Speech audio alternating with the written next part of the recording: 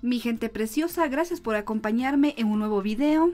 Hoy vamos a preparar una receta que ha sido sugerida por muchos de ustedes. Ensalada de atún con plátano maduro. La fusión de estos sabores quedó perfecta. Vamos con la preparación. Para esta receta vamos a utilizar dos plátanos maduros. Retiramos la corteza y los vamos a cortar en media luna.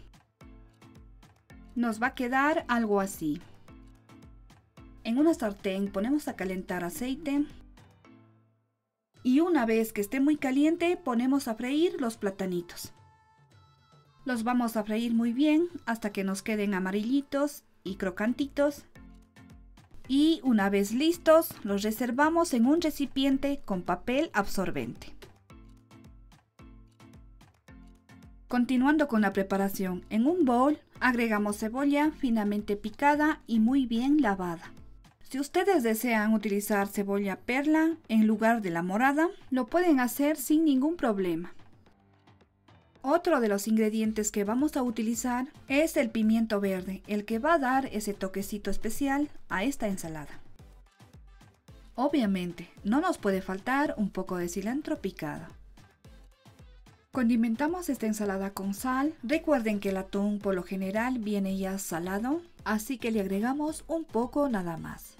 Otro de los condimentos que utilizamos es pimienta molida. A una buena ensalada no le puede faltar el zumo de limón. Yo estoy agregando dos limones. Ahora sí, a mezclar se ha dicho. Integramos todo muy bien. Esta ensalada tiene un aroma delicioso. Una vez mezclado todo, dejamos reposar unos 10 minutos. Cuando ya haya reposado vamos a integrar 300 gramos de atún, de preferencia que sean lomitos. Le he dejado un poco de su aceite para intensificar el sabor y darle más placer al paladar. Qué buena que está quedando esta ensalada. También agregamos los platanitos que teníamos reservado.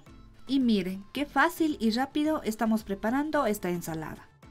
Ahora sí, para ya ir terminando, mezclamos todo Dicen que la comida entra por los ojos. Y miren qué bien se ve esto. Ya da ganas de probar esta delicia.